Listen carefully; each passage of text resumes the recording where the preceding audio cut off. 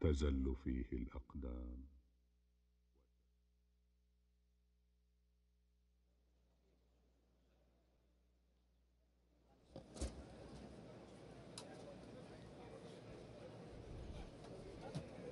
السلام عليكم ورحمة الله وبركاته. الله أكبر الله أكبر. الله أكبر الله أكبر. أشهد أن لا إله إلا الله.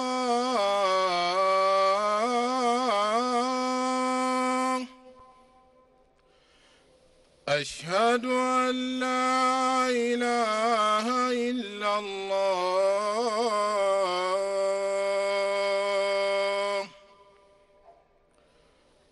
أشهد أن محمد رسول الله.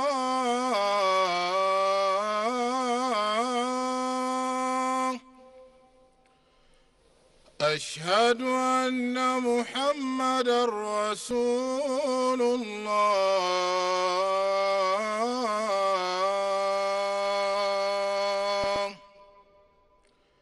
حي على الصلاة.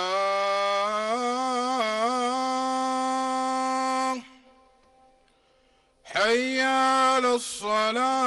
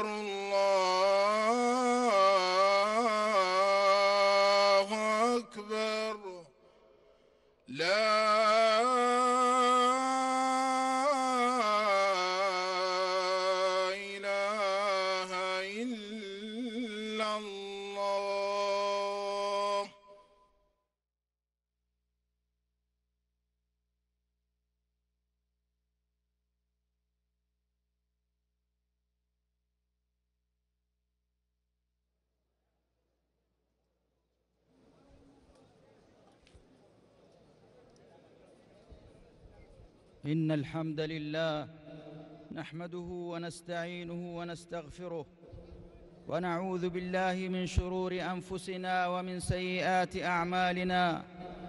من يهده الله فلا مضل له ومن يضلل فلا هادي له وأشهد أن لا إله إلا الله وحده لا شريك له وأشهد أن محمدًا عبده ورسوله. أرسله بالحق بشيرًا ونذيرًا بين يدي الساعة. من يطع الله ورسوله فقد رشد. ومن يعص الله ورسوله فإنه لا يضر إلا نفسه ولا يضر الله شيئا.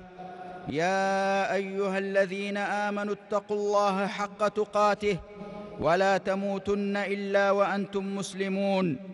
يا أيها الناس اتقوا ربكم الذي خلقكم من نفس واحدة وخلق منها زوجها وبث منهما رجالا كثيرا ونساء واتقوا الله الذي تساءلون به والأرحام إن الله كان عليكم رقيبا يا أيها الذين آمنوا اتقوا الله وقولوا قولا سديدا يصلح لكم أعمالكم ويغفر لكم ذنوبكم ومن يطع الله ورسوله فقد فاز فوزا عظيما.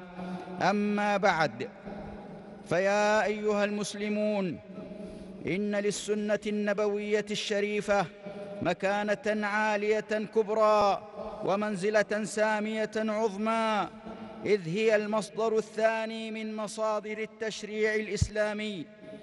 فأحكامنا الشرعية التي أمرنا أن نعمل بها إنما نستقيها من وحي ربنا الذي يشمل القرآن الكريم والسنة المطهرة ومما يدل على أن السنة وحي من الله قوله تعالى وما ينطق عن الهوى إن هو إلا وحي يوحى وقوله تعالى واذكروا نعمة الله عليكم وما أنزل عليكم من الكتاب والحكمة يعظكم به وقوله تعالى واذكرن ما يتلى في بيوتكن من آيات الله والحكمة قال أهل التفسير الحكمة السنة والسنة عباد الله شارحة ومفسرة لكثير من الأحكام المجملة في القرآن فقد بين سبحانه بأنه تكفل ببيان كتابه فقال تعالى إن علينا جمعه وقرآنه فإذا قرأناه فاتبع قرآنه ثم إن علينا بيانه. وبيانه يكون على لسان رسوله صلى الله عليه وسلم. قال تعالى وأنزلنا إليك الذكر لتبين للناس ما نزل إليهم ولعلهم يتفكرون. فأين يجد المسلم في القرآن أن الظهر والعصر والعشاء أربع ركعات؟ وأين يجد أيضا مسائل الزكاة وتفاصيل أحكام الحج وغير ذلك؟ عن عمران بن حسين أن رجلا أتاه فسأله عن شيء فحدثه فقال الرجل حدثوا عن كتاب الله ولا تحدثوا عن غيره. فقال إنك امرؤ أحمق. أتجد في كتاب الله أن صلاة الظهر اربعا لا يجهر فيها وعدد الصلوات وعدد الزكاة ونحوها. ثم قال أتجد هذا مفسرا في كتاب الله؟ إن الله قد أبهم هذا والسنة تفسر ذلك. وكما أن السنة مبينة ومفصلة لأحكام القرآن فهي تستقل ببعض الأحكام والتشريعات كإيجاب صدقة الفطر وتحريم الذهب والحرير على الرجال والنهي عن الجمع بين المرأة وعمتها والمرأة وخالتها. فالواجب علينا جميعا أيها المسلمون أن نتمسك بالكتاب والسنة وان لا نفرق بينهما من حيث وجوب الأخذ بهما كليهما من حيث وجوب الأخذ بهما كليهما وإقامة التشريع عليهما معا. فإن هذا هو الضمان لنا الا نزيغ ولا ننحرف ولا نضل كما بين ذلك رسول الله صلى الله عليه وسلم بقوله تركت فيكم أمرين لن تضلوا ما تمسكتم بهما. كتاب الله وسنة نبيه. رواه مالك في الموطأ. أيها الإخوة لقد جاءت النصوص الشرعية مبينة أن طاعة الرسول طاعة لله ومؤكدة على وجوب طاعة الرسول صلى الله عليه وسلم واتباعه والتحذير من مخالفته وتبديل سنته فمن ذلك قوله تعالى من يطع الرسول فقد أطاع الله ومن تولى فما أرسلناك عليهم حفيظا. وقوله عز وجل وما آتاكم الرسول فخذوه وما نهاكم عنه فانتهوا. وقوله تعالى وما كان لمؤمن ولا مؤمنة إذا قضى الله ورسوله أمرا أن يكون لهم الخيرة من أمرهم. ومن يعص الله ورسوله فقد ضل ضلالا مبينا. وقول الرسول صلى الله عليه وسلم عليكم بسنتي وسنة الخلفاء المهديين الراشدين تمسكوا بها وعضوا عليها بالنواجذ. أخرجه أبو داود والترمذي وابن ماجه من حديث العرباض بن سارية رضي الله عنه. وقوله صلى الله عليه وسلم فمن رغب عن سنتي فليس مني. متفق عليه. من حديث أنس بن مالك رضي الله عنه وقوله صلى الله عليه وسلم خير الحديث كتاب الله وخير الهدي هدي محمد أخرجه مسلم. من حديث جابر بن عبد الله رضي الله عنه فلا يمكن تطبيق الإسلام إلا بالرجوع إلى السنة ولا إسلام للمرء بدون قبول السنة والعمل بها. معاشر المسلمين ومما أخبر عنه الصادق المصدوق صلى الله عليه وسلم أنه سيأتي من بعده أقوام يردون أحاديثه ويطعنون فيها. فعن المقداد بن معد كرب رضي الله عنه قال قال رسول الله صلى الله عليه وسلم ألا إني أوتيت القرآن ومثله معه. ألا يوشك رجل شبعان على أريكته يقول عليكم بهذا القرآن فما وجدتم فيه من حلال فأحلوه وما وجدتم فيه من حرام فحرموه. رواه أبو داود والترمذي والحاكم وأحمد. والواجب على كل مسلم أن يحذر من دعاة الضلالة الذين يردون أحاديث رسول الله الثابتة ويشككون في السنة ويطعنون فيها ويقولون أوامر النبي لا تلزمنا ويلبسون على الناس ويدعون أنهم يظهرون الحقائق وهم في حقيقة الأمر يروجون الأباطيل ويحاربون ثوابت الدين ويأتون بالمحدثات ويشككون في المسلمات. وما أشد هلكة من كان على هذا المسلك الوعر. قال الإمام أحمد رحمه الله من رد حديث رسول الله صلى الله عليه وسلم فهو على شفا هلكة. وقال الحسن البربهاري رحمه الله وإذا سمعت الرجل يطعن على الأثر أو يرد الآثار أو يريد غير الآثار فاتهمه على الإسلام. ولا تشك أنه صاحب هوى مبتدع. أيها الإخوة لقد اتخذ الطعن في السنة صورا متعددة وطرقا متنوعة فتارة عن طريق الطعن في حجيتها ومكانتها وتارة عن طريق الطعن في الأسانيد بالهوى وبغير علم. والتقليل من شأنها وتارة عن طريق الطعن في منهج المحدثين في النقد والجرح والتعديل وتارة عن طريق الطعن في المرويات بالتشكيك فيها وادعاء التناقض والتعارض بينها وتارة عن طريق محاكمتها للرأي وأنها لا تتوافق مع العقل والحس والذوق وتارة عن طريق محاكمتها إلى مقاييس بشرية وأنها تتعارض مع اكتشافات العصر الحديث إلى غير ذلك من أنواع الطعون. وفي الآونة الأخيرة واجهت السنة النبوية المطهرة حربا ضروسا وتعرضت لحملات ضارية من قبل أعداء الإسلام وكل ذلك حلقة في سلسلة الموجة الشرسة من الهجوم على الثوابت وقطعيات الدين.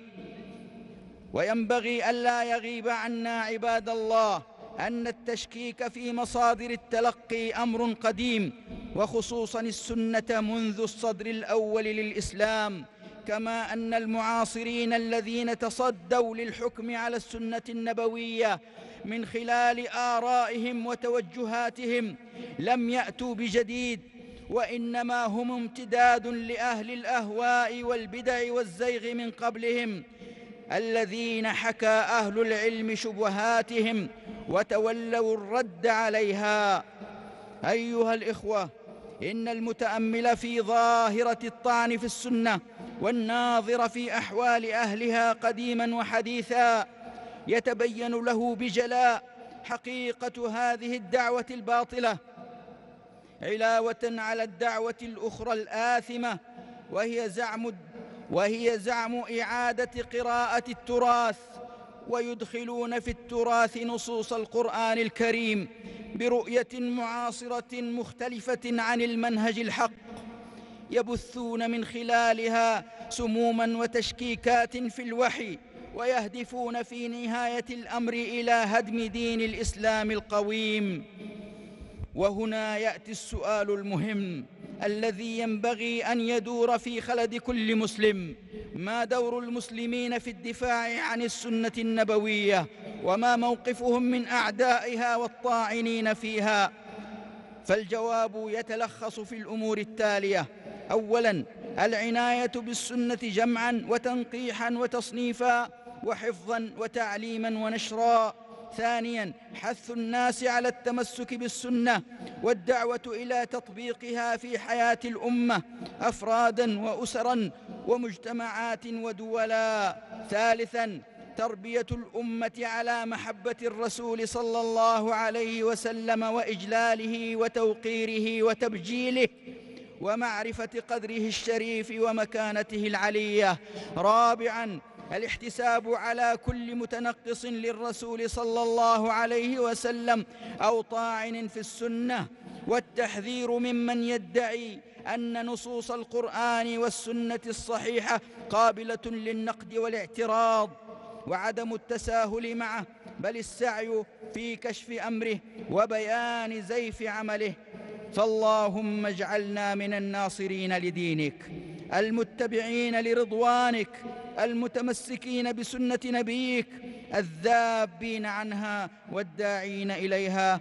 أقول ما تسمعون وأستغفر الله لي ولكم.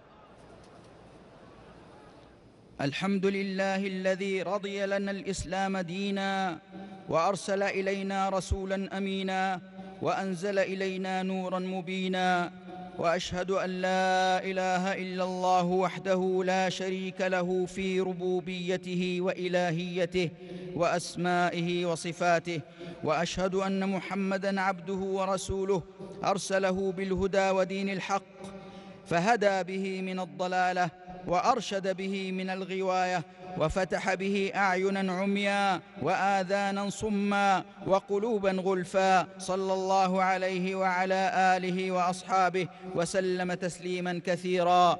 أما بعد فمما يطمئن القلب ويسر الخاطر أن الأمة المسلمة بحمد الله لا تخلو في كل عصر ومنه عصرنا هذا ممن يدافع عن السنة وينشرها ويعمل على خدمتها جمعا وتحقيقا وتخريجا وشرحا وردا على خصومها وفضحا لأعدائها. وإذا كان ديدن الصحابة الكرام رضي الله عنهم الدفاع عن رسول الله في حياته يفدونه بأنفسهم وأهليهم وينافحون عنه. وقد ضربوا أروع الأمثلة في التضحية والوفاء حتى يقول قائلهم مخاطبا النبي صلى الله عليه وسلم نحري دون نحرك. كأنه أراد أن يقول يا رسول الله أنا أموت دونك وأنحر ولا تنحر. أقتل ولا تقتل. دعني أنا أواجه العدو. أما أنت فامكث وابق سالما صحيحا معافى. إذا كانت هذه مواقف الصحابة في الدفاع عن نبيهم في حياته فأنصار الدين والمنافحين عن سنة سيد المرسلين فأنصار الدين والمنافحون عن سنة سيد المرسلين صلى الله عليه وسلم الذين جاءوا من بعدهم هم على شاكلتهم يحاكونهم في غيرتهم ونصرتهم سنته وذودهم عن حياضها لسان حالهم سيبقى أسد الشرى لمن يطعن في سنة خير الورى. لا يدعون مفتر ينال منها إلا ذبوا عنها ولا يعمد أحد إلى التشكيك فيها إلا وجد من يزجره ويمنعه ويكفه ويردعه غضبة لرب الأنام وحمية لدين الإسلام. عباد الله ومن المعاني القرآنية التي جاءت السنة المطهرة ببيانها الأشهر الأربعة الحرم الواردة في قوله تعالى إن عدة الشهور عند الله اثنا عشر شهرا في كتاب الله يوم خلق السماوات والأرض منها أربعة حرم ذلك الدين القيم فلا تظلموا فيهن أنفسكم. فبين إجمال هذه الآية النبي صلى الله عليه وسلم في خطبة حجة الوداع فعن أبي بكرة رضي الله عنه عن النبي صلى الله عليه وسلم أنه قال إن الزمان قد استدار كهيئته يوم خلق الله السماوات والأرض السنة اثنا عشر شهرا منها أربعة حرم ثلاثة متواليات ذو القعدة وذو الحجة والمحرم ورجب الشهر مضر الذي بين جمادى وشعب وشعبان الذي بين جمادى وشعبان رواه البخاري ومسلم. كما بين العلماء أن سبب تسميتها حرما لزيادة حرمتها وتحريم القتال فيها. أيها المسلمون ها نحن قد أدركنا ها نحن قد أدركنا بفضل الله هذه الأشهر الحرم فما الواجب علينا فيها؟ الواجب هو امتثال أمر الله تعالى باجتناب الظلم فيها. فعن ابن عباس رضي الله عنه في قوله تعالى فلا تظلموا فيهن أنفسكم في كلهن ثم اختص من ذلك أربعة أشهر فجعلهن حراما وعظم حرماتهن وجعل الذنب فيهن أعظم والعمل الصالح والأجر أعظم. وقال قتادة في قوله فلا تظلموا فيهن أنفسكم إن الظلم في الأشهر الحرم أعظم خطيئة ووزرا من الظلم فيما سواها وإن كان الظلم على كل حال عظيما ولكن الله يعظم من أمره ما يشاء والظلم الذي يحذره المسلم ثلاثة أنواع فعن أنس بن مالك رضي الله عنه قال قال رسول الله صلى الله عليه وسلم الظلم ثلاثة فظلم لا يغفره الله وظلم يغفره وظلم لا يتركه الله فأما الظلم الذي لا يغفره الله فالشرك. قال الله إن الشرك لظلم عظيم وأما الظلم الذي يغفره فظلم العباد لأنفسهم فيما بينهم وبين ربهم وأما الظلم الذي لا يتركه الله فظلم العباد بعضهم بعضا حتى يدين لبعضهم من بعض. رواه الطيالسي والبزار. فلنستحضر عباد الله حرمة هذه الأشهر وتعظيمها فإن تعظيمها من تعظيم الله عز وجل. فقد قال تعالى ذلك ومن يعظم شعائر الله فإنها من تقوى القلوب. والمسلم يعظم الأشهر الحرم خاصة بالتزام حدود الله تعالى فيها وإقامة فرائضه والحرص على طاعته وعدم انتهاك محارمه. وارتكاب مساخطه وتعدي حدوده. ألا وصلوا وسلموا رحمكم الله على نبيكم الذي أوحي إليه.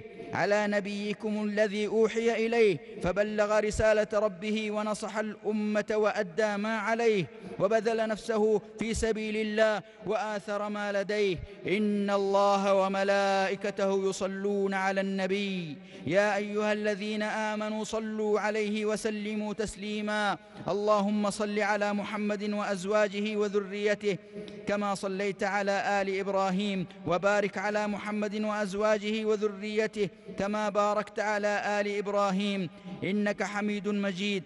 اللهم أعز الإسلام والمسلمين وأذل الكفر والكافرين وانصر عبادك الموحدين ودمر أعداءك أعداء الدين واجعل هذا البلد آمنا مطمئنا وسائر بلاد المسلمين.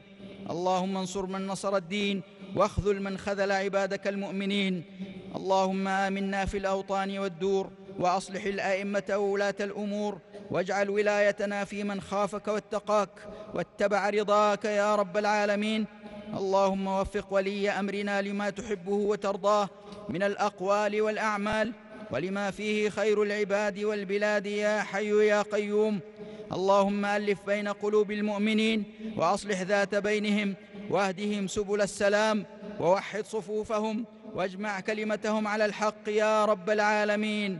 اللهم انصرهم على عدوك وعدوهم يا قوي يا عزيز.